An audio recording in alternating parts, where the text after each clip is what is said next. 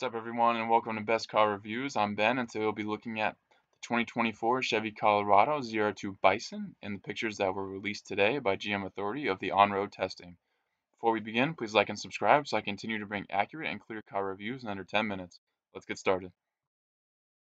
The 2024 Chevy Colorado ZR2 Bison has once again been spotted on the streets, but this time in a lighter camouflage than the previous observation, giving a much better look at the front fascia as well as a great side shot you can easily tell just from one picture this truck will be tremendously capable. The front end does appear to have some changes compared to the regular ZR2 in the remodeled lineup. There appears to be a difference in the height of the front bumper that will allow for that extra ground clearance than the other standard ZR2. That would actually be the opposite of how it was in the previous models because the Bison front bumper actually decreased ground clearance. But the way it should be is to increase, given you're spending thousands of dollars on an off-roading package. The grille also appears to be potentially more blacked out, but hard to tell if GM simply didn't tag out the front end for this test drive intentionally. The other obvious feature of this truck compared to the standard ZR2 is the extra width and seemingly height as well. And speaking of height, you can see those upgraded Multimatic DSSV dampers sitting pretty under the front end.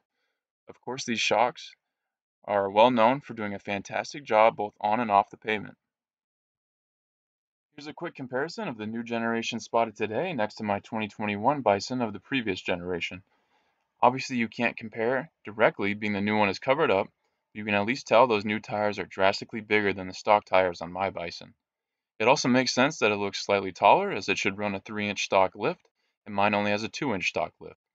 Both very cool trucks and it'll be interesting to test the new generation once it's released. I will be doing a full review of my Bison and the mods I've done once it stops snowing and I can clean it off. And although unconfirmed as of now, it sure looks like this Bison is rocking some 35 inch tires. And word on street is that's in fact true, which would put this Bison miles apart from the previous generation that ran the stock roughly 31 and a half inch tires. You can see these tires in the road testing are very wide and have beefy sidewalls. I couldn't make out the dimensions, but they are the Goodyear Wrangler Territory tires. It makes me jealous as I own a 2021 Bison, but I'm glad to see future Bison owners will get the tire they deserve for the expensive package. Although not much can be seen, what is visible is very promising and bodes well for GM having listened to Bison owners of the past and actually putting out an improved second generation product. AEV knows exactly what to do to prepare a truck for off-roading as well, so you can be sure you are getting a quality product. This was a quick video guys, but there's not much to see yet. Hopefully this gets you excited if you're in the market for an off-road truck and are waiting to make a decision on this one. I'm sure you can expect a price tag upwards of 70k though, for this, given the Desert Boss trim on the regular ZR2 can run as high as 68K. But this truck could potentially be in a league of its own once it's released.